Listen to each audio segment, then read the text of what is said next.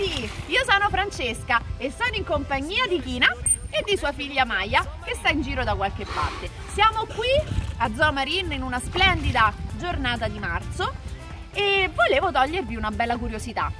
Maya ancora prende il latte dalla sua mamma e lo farà ancora per un bel po'.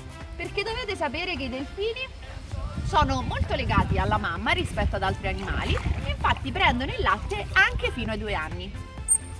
A breve iniziamo lo svezzamento, infatti stiamo iniziando ad introdurre i primi pezzettini di pesci e vediamo come reagisce. Per ora ancora non mangia, ok? Ma vogliamo vedere dove prende il latte? Guardate, adesso con l'aiuto di Kina vi farò vedere dove sono le ghiandole mammarie nei. Ecco qui. Queste due fessure piccoline sono le ghiandole mammarie, da dove Maya prende il latte. Questo perché? Perché i delfini sono dei mammiferi, vero Kina? Sì? Batti il 5? Molto bene.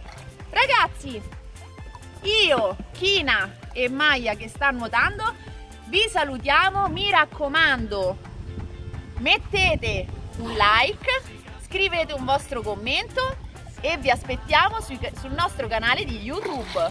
Ciao! Iscrivetevi, mi raccomando! Ciao ciao!